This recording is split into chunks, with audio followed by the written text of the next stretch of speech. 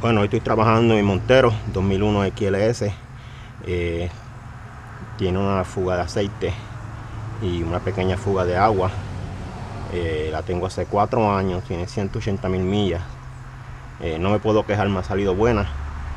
la tiramos desde Texas hasta Tennessee, 1400 millas, jalando el RX7 y no dio problemas de nada. pues eso es lo que voy a hacer hoy. Ya tengo casi la mitad del motor afuera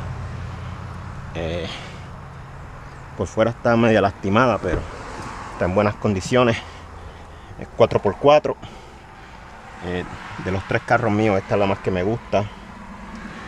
Eh, la he intentado pues restaurar poco a poco. Espero mandarla a pintar pronto. Eh, ahí está pues. Conseguí esto he conseguido esto he conseguido un par de piezas. Y poco a poco las estoy arreglando. Esto es una goma de clono pues vamos a ver cómo, cómo queda esto. Bueno, eh, la arreglé la fuga de agua que tenía, las dos fugas de aceite que tenía.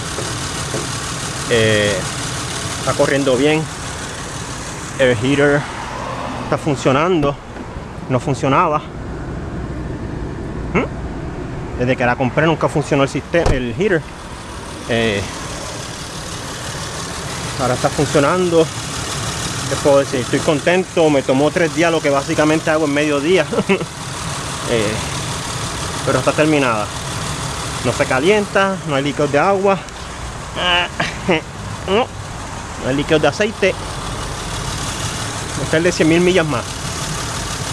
Y pues, vamos a ver qué pasa a ver cuánto dura y mañana pues meterle mano a clono bueno cuídense bye